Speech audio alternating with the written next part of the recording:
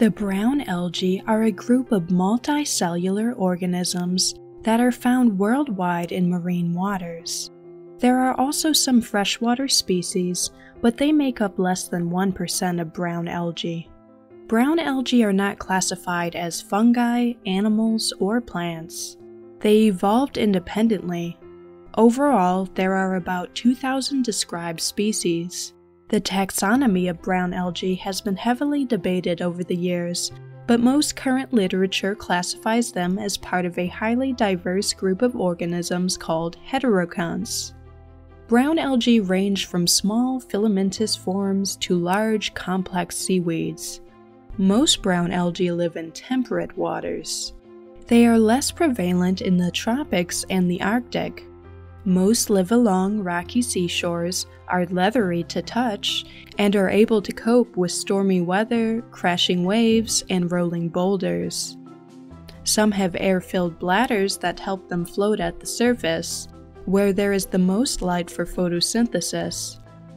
Large brown algae, such as kelp, are the foundation of temperate coastal ecosystems globally. Large brown algae form complex underwater forests that dramatically increase the structural complexity of marine ecosystems and alter environmental factors such as light, fluid dynamics, sedimentation, and food availability. Large brown algae also provide habitat for a wide range of organisms, including many commercially important animals. The algae serve as essential nursery grounds for many species. Forests of large brown algae dominate approximately 25% of the world's coastlines. The largest brown algae, the giant kelp, can grow over 150 feet in one growing season. Giant kelp often grow in turbulent water, which brings renewed supplies of nutrients, allowing them to grow rapidly. Huge underwater beds of giant kelp are home to many specialized fish, shellfish, and other creatures. Sea otters wrap themselves in floating kelp fronds to feed and sleep. Storms can tear large brown algae from rocks and wash them onto the beach. Many species, such as rockweed, are intertidal and are exposed to the air at low tide. Sargassum and some other brown algae species can form dense tangled mats that float like rafts.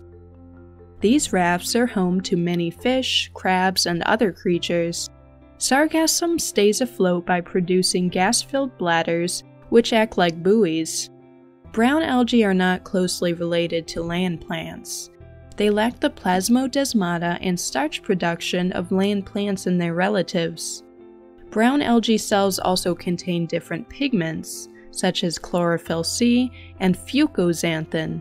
Fucoxanthin is typically responsible for their olive green to brown coloration. For their general structure, brown algae have fasteners called holdfasts that attach to rocks. The holdfast does not take in water or nutrients like a true plant's roots. The stem-like structure that travels up from the holdfast is called the stipe, which terminates in an inflated gas bladder.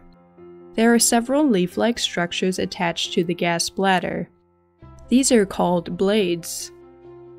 Marine brown algae accumulate metals so efficiently that they have been found to be convenient biomonitors for heavy metal pollution.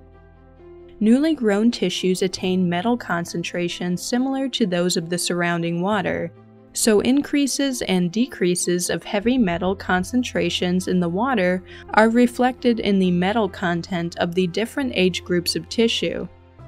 Most brown algae reproduce sexually by a complex life cycle called alternation of generations. Some can reproduce asexually. Brown algae are harvested from the wild and through aquaculture operations around the world.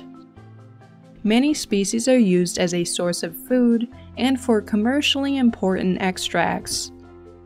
Brown algae are used in various products for their water holding properties, gelling properties, emulsifying properties, and stabilizing properties. Some common products that may have brown algae are frozen foods and syrups, instant puddings, explosives, ceramics, welding rods, and cleaners. For more marine facts, click the subscribe button.